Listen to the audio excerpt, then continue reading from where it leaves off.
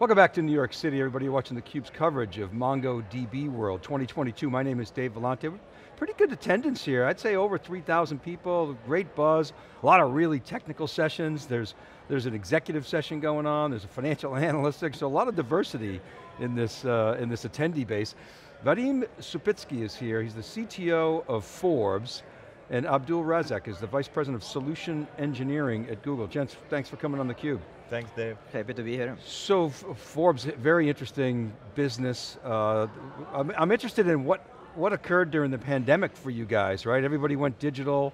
Obviously you guys have a tremendous brand. Uh, we all, well, we all in the business world read Forbes, but what happened during the, the, the, the, isolation era? What happened to your business? Yeah, so we've been innovating and going through digital transformation for years, since we launched our website probably 25 years ago. Right. But during the pandemic, because of our coverage, our foresight to create a breaking news team, our audiences and readership really skyrocketed. Really? Yeah, and at that point, we were very happy and really lucky to be in Google Cloud and MongoDB Atlas. So when the audiences went up, we didn't feel any impact, right? Our, our environments auto-scaled, and uh, our users didn't experience any issues at all. So we were able to focus on innovation, our users' loyalty, and really building cool products. So we, that we were very lucky and happy to be in Google Cloud and MongoDB Atlas so, at that point. So Abdul, the solution you provided obviously obviously worked. What, how did you guys end up getting together? What was that, what was that like? Yeah, I mean, it, like like uh, Vadim said, right? I mean, um, maybe the, there's a little bit of a right place at the right time uh -huh. in, uh-huh. this, in, this, case, but you can see the the the need for digital transformation, um, and the pandemic really accelerated that. And um, like, like Vadim said, primarily Forbes wanted to focus on innovation and customer loyalty, and, and the way that comes to bear is you know, that you have a technology platform that can serve those needs, right? Uh, whether it is through unique applications uh, that can be delivered, the, the ability for developers to build those applications quickly and seamlessly, and then remove the, the, the, intangibles of you know, scalability, performance, latency, and things of that nature. So, uh, you know, this, you know, you can see this all coming together in, in, in this scenario. So as, as consumers, we see the website, we, we read online, uh, maybe sometimes in the laptop, mostly on mobile. Um, what is it that we don't see? I mean, the apps, you know, that Abdul talked about, uh, community, what, what, else is there? Paint a picture of that for us. Yeah, there is a lot going on behind the scene, right? So focusing on audience, building communities, but also what uh, it allowed us to do while everything was working well, we were scaling up, right? We were able to focus on a lot of innovation. Mm -hmm. And one of those was first-party data platform that we built. We call it Forbes One and that's in the center of everything that we do at Forbes right now, right? So it allows us, one, to connect our partners, advertising partners, with the audiences that they're looking to engage and um, to connect with. And then we are growing a consumer business as well. And what that allows us to do is target the right products mm -hmm. at the right time to the right people on the web website and off the main. So that's just one of the examples that we've built our full first-party data platform on these technologies, and we now know our customers so well that we're able to provide them with what they want. So the first-party data platform is what, a self-serve for advertisers so they can? Not just advertisers, so it's in the center of everything, so advertiser comes in, we provide the segments and users that they want to reach. Now, we are creating products as well, building, building cool, innovative products, and uh, offering our journalism and everything there to our readers, and we're able to connect them to the right audiences at the right time. As well as personalization, right? You come into the website, you want to read what you want to read.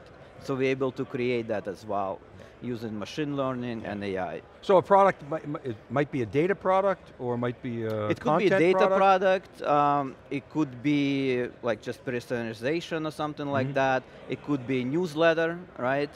It could be a standalone product, uh, like investing product. So there is a lot going on there, but we, we want to offer the right ones at the right time to the right audiences.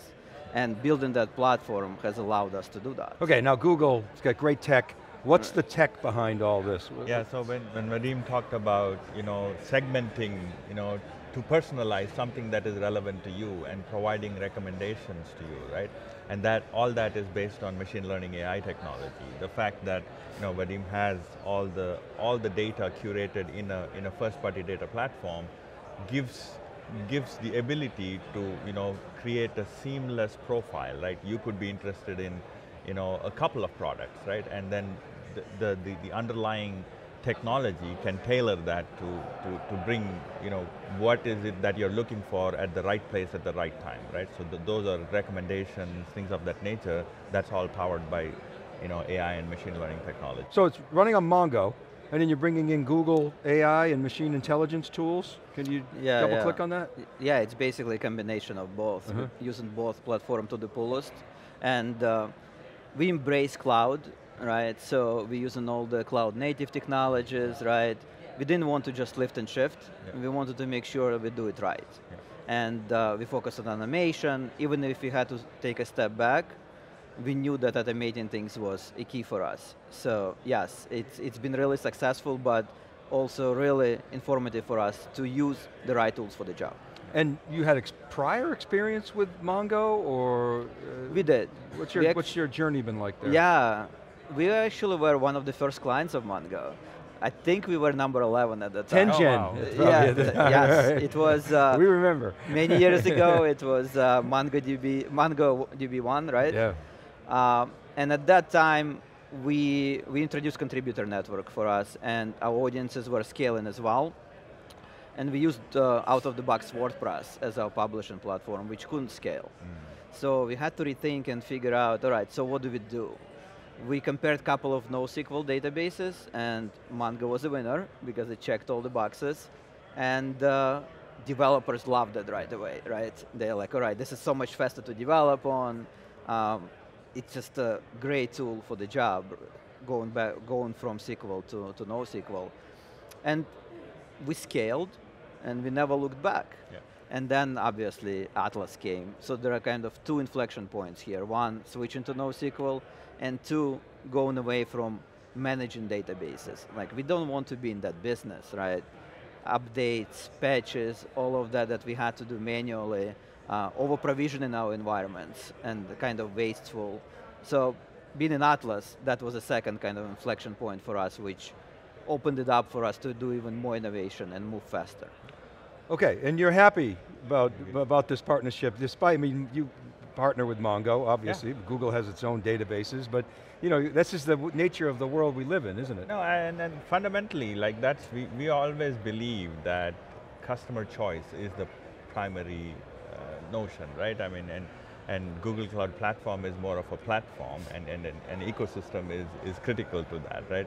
It's, it's imperative. So, you know, like Vadim said, the, the combination of Google and Mongo provides a truly cloud native platform that can you know, serve the needs for years to come rather than you know, from looking at it from a legacy perspective. And that's the way we look at it, right? I mean, there is, uh, there is choices all the time and um, you know, sometimes it's, it's, it's competition. Right? And yeah, yeah, and you're still selling a lot of compute and storage yeah. and machine yeah. intelligence, so uh, machine learning this morning in the keynotes, we heard a, a lot about uh, a lot of different capabilities. I've, we've certainly watched Mongo evolve its platform over the last, you know, half a decade or more, really.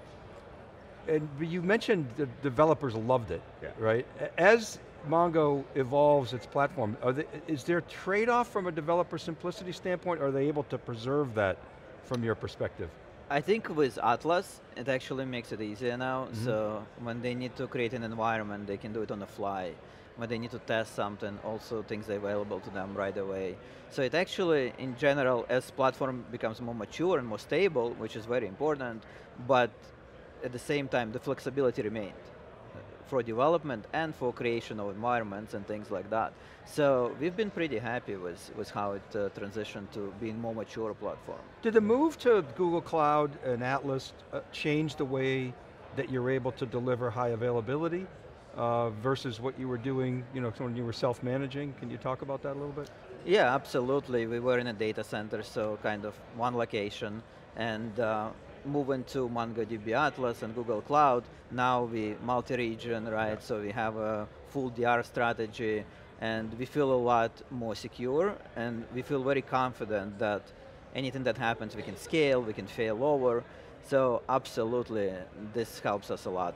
And uh, the feature that was introduced probably a few years ago to auto scale yeah. MongoDB environments as well, that has been really key for us. So we can sleep, sleep, uh, sleep well. Meaning you can scale while you're asleep. Right, exactly, exactly, exactly. yeah, plus the other part is you don't size for peak, right? You size right. as you grow and then you, you have that elasticity right. Uh, right. built in, right? That it is native and then you know, Mongo is available on you know, multiple Google Cloud regions. So as, as you expand, uh, you know, you don't worry about, you know, all the plumbing that you need to do and things of that nature. They announced uh, serverless uh, this morning. Yeah. Um, how does that affect what you guys are doing and together, and what, what, what, are your thoughts from Google's perspective, and then, of course, for I Yeah, I mean, and, and that's the trend that, that, that we see constantly, right? Serverless really um, decouples, uh, you know, the, the, the tie to the VMs, right? And so it makes it, it makes it much more easier to provide the elasticity um, and have function calls across, right? Function as a service mm -hmm. and things of that nature, right? So we see a lot of promise in that, right? We, we do that even in, within our own products and, and we see uh, that giving the ability to, to decompose and, and recompose applications and, and uh, would love to hear how you're leveraging yeah, that. Right? we fully embrace serverless. So we use all the tools you provide, I yeah. think. Uh, if you look at, at, our architectural diagrams, there's yeah. like all these uh, PubSub, yeah. cloud functions, Composer, okay. App Engine. Yeah. So we use the full suite and we love it. Yeah, yeah. Okay. And you talked this morning about the eliminating the tr trade-offs with serverless of having to Right. You know, either when you dial it down, yeah. you have to restart, but you've, so, you've solved that problem, or I guess Mongo's helped you solve that problem. Can you explain that a little bit from a technical standpoint? Yeah, from, from a technical standpoint, if you look at like a, as a developer, right, the, the, you know, if, you, if you're building an intelligent app, it has multiple components within it, right? There is PubSub for messaging, there is cloud functions, and, and things of that nature. So you don't worry about, you know, with, with, with when it's encompassed in a, in a a serverless architecture, you don't worry about a lot of the complexities that go on behind it. And, and so that makes the abstraction much more easier and it, it eliminates the friction that a developer goes through. Uh, I think they've talked about yep. you know, removing friction and, and that's the primary source of productivity loss, right, which is the friction.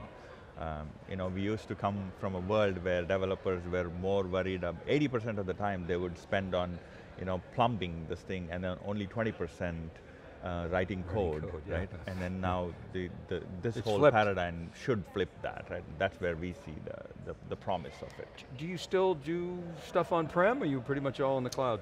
Full in the cloud. How long did that take? What uh, was that like? It actually was really fast. We had a really aggressive timeline. It took us six months. Really? Yeah, yeah. And uh, it was it was aggressive, but I was happy that we, we did it in a short period of and, time. And what was the business impact uh, that you saw of moving to the Google Cloud? Yeah, so obviously after we moved to the cloud, we wanted to measure, especially the first year, how it affected us and what were the positives out of it. And yeah, we've seen tremendous results. 58% increase in speed to market. Yeah. We were releasing four times more often than when we were on-prem.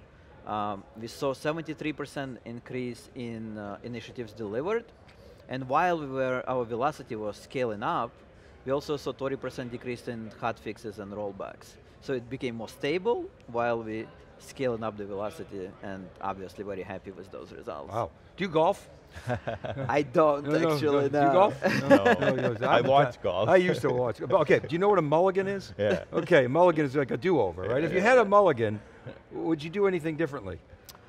You know, like we learned a lot, um, and one of the keys for me was they definitely automate everything. Yeah. Make sure that you automate as much as possible, even if it slows you down, because in the future that will help you so much. And use the platform and the tools that are available to you. So serverless, right? Use cloud the way it's supposed to be as much as possible. And I think that's the advice I would give. Are, are there are there any cautions with regard to uh, automation? Either of you that you see? because sometimes you, automation brings unintended consequences. Yeah. And and, and you know, oops happens really fast.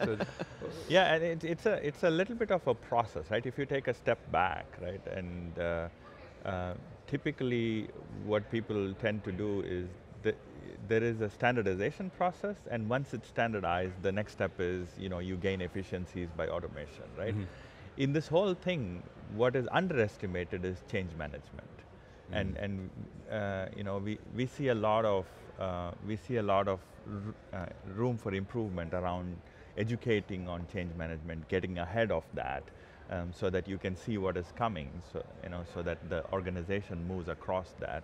I don't know if you saw that in your case, but, but we see this predominantly in, in other, other cases.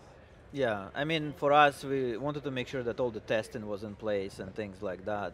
So not just automation of uh, deploying or anything like that, but make sure that there is something there to catch if something goes wrong and roll back and things like that.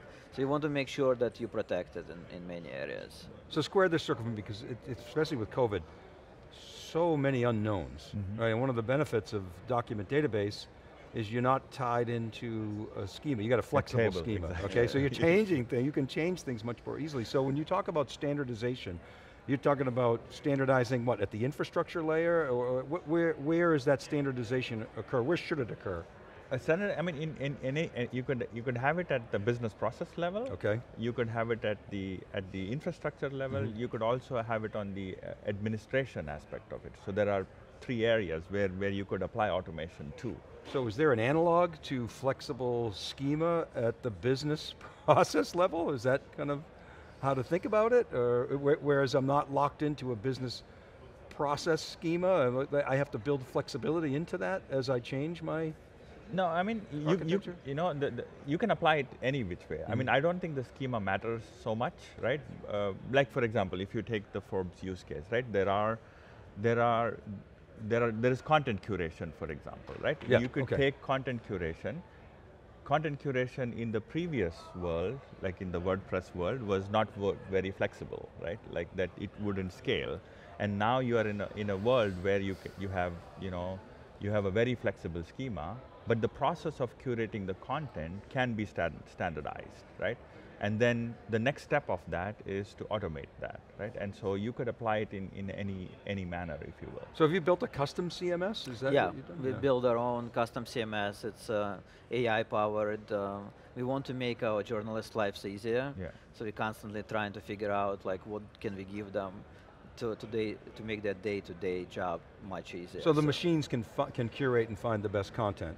We do recommend things, yes, absolutely. We curate, we, we tell them like what would be the best headline, for example. Um, what would... Uh, Prior to them publishing. Yeah, yeah, what yeah. would be the better keywords to include and things like that. What yeah. images, it's just recommendation. It's and you can automate yeah. the insertion of those, exactly. WordPress, they go, you know, every time they do, it, even though they're writing about the same topic. It's a recommendation it's process, recommendation. obviously, but There is a human intelligence to that right. at the end, right? I mean, and but but you, you can create a much more informed view by curating and recommending content rather than a myopic view. And you're eliminating that mundane Correct. keystroke task, so yeah, wow. Amazing story, guys. Thanks so much for sharing. Absolutely, Dave, thank you. All right, keep it right there. We're live from MongoDB World 2022 in New York City. We'll be right back.